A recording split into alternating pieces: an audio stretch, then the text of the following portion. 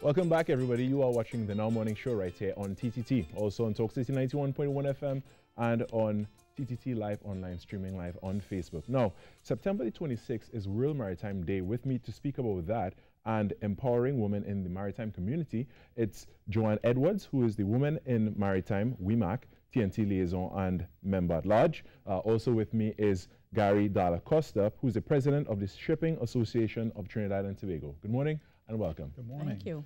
All right, uh, wonderful guests. Tell me what is the purpose of Maritime Day?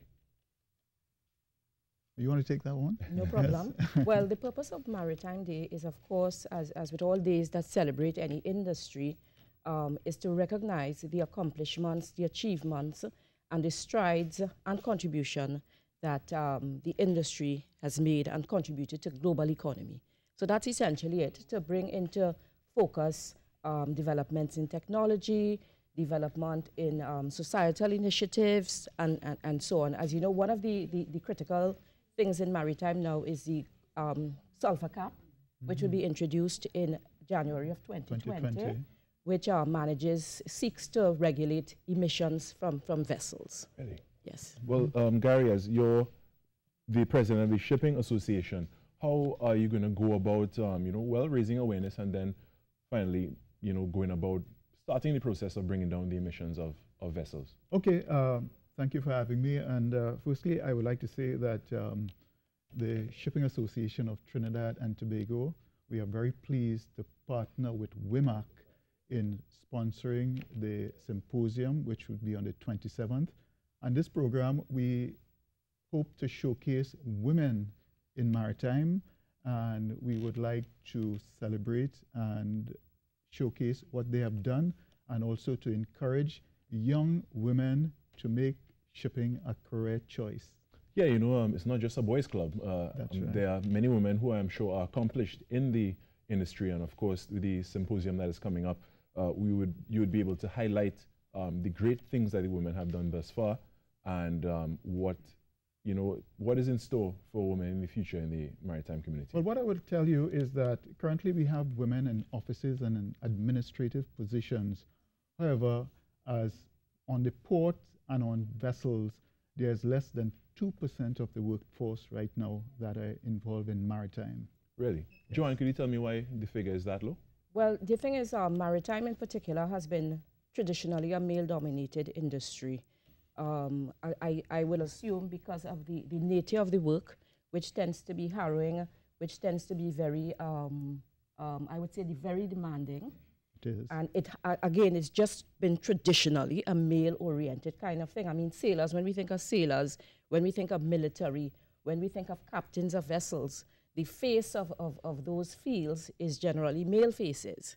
And um, there haven't been, um, if you look perhaps over the last 30 years, there hasn't been, there wasn't, I would say, a significant drive towards encouraging women to the industry, to attract women to the industry. That has changed with the introduction of the IMO's um, gender programs, wherein the International Maritime Organization has introduced women in maritime associations across the world. And the WIMAC is the last of seven that okay. was introduced in 2015 to advocate, to provide, for, uh, first of all, a platform for advocacy among women and for women to encourage women to be attracted to the industry, as Gary has indicated And these would be for what roles, um, Joanne, all roles. across all, all roles. roles, onshore, yeah. offshore, offshore in particular. And offshore tends to have um, the major challenges because, of course, of the remoteness of, of, of the field. It tends to be less visible mm -hmm. and less hands-on. So that's where you find um, major challenges with respect to, to um, representation, um, making allowances for women and so in offshore fields and sailing and so on. Some of that will be featured in the in one of the um, panels yeah. on, in the program, in I the know, symposium. I know that you have been involved in shipping and in the maritime industry for years. Do you find that women in Trinidad and Tobago are particularly drawn or over the past in the recent times have there been more women being attracted to the industry in Trinidad and Tobago? I would say yes. It's more than to average. To some yes. extent. More than average. We, we are more than average. I mean, we are not in the region. We are not a leading maritime um, country, mm-hmm. but we certainly not not way below. I would say we are probably third. Yes. Because uh, of course, because of our be economy and of course the energy sector has to a large extent driven the, the developments in the in the maritime industry and so on. You so I would say yes. You have to remember where we came from. In the past, it was taboo to have women on board sailing vessels. Really? Yes. Uh, in 1988 was the first time women were allowed into the World Maritime University. Wow. So this this had, had been a landmark um, achievement. achievement. Yes. Wow. Yeah, and I would say in 1980, that's, that's very recent. That's, that's very, very recent. Yeah, you know, so correct. It took correct. that long for society to catch up yes. to, to, to allow this. That's well, Gary, that should have been in place in the first place. Well, the thing is, Gary mentioned the statistic about um, only 2% of the women. Mm. That is actually a global, that also mirrors a global statistic mm -hmm. where only 2% of the maritime workforce is women. Eh? Mm -hmm, really? Yes. Mm. So would you say there were major barriers to women entering the field? Oh, absolutely major barriers. I, I think women would would get, uh, just as in, in, in, in, corporate in general, um, the dual role that women tend to have to play with, un unpaid work, in, particularly, really um, limits to some extent their ability to focus on, on careers in general. There are lots of generalities that can be applied in terms of achieving equality for women across industry and in the maritime industry in particular. So one of the barriers is, is biases in terms of what women can do relative to men.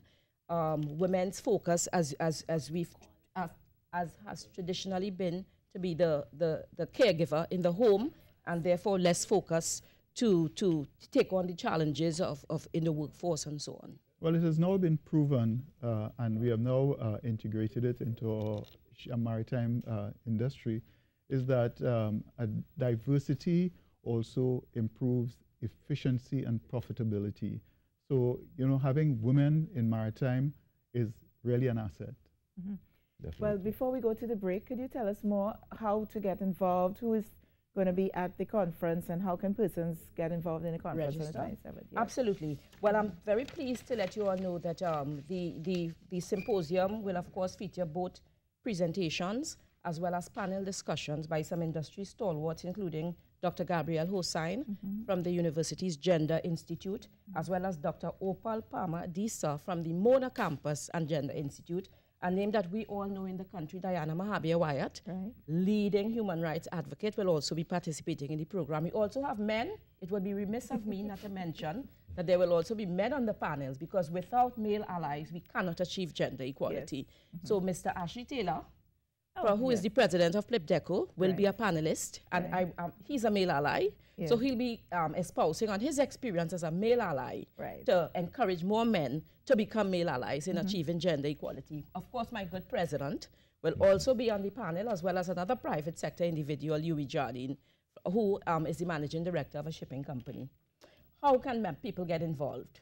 623 3355 mm -hmm. www www.shipping.co.tt. Wonderful. Right. Well, with that, I want to thank you so much, Joan Edwards, Women in Maritime TNT Liaison and member at large. I want to thank you as well, Gary Dalla Costa, President of Shipping Association of Trinidad and Tobago, for joining us and sharing this wonderful information. Thank, thank you, you, so for much for having us. we take a short break and we come right back with the rest of the Now Morning Show. Stay with us.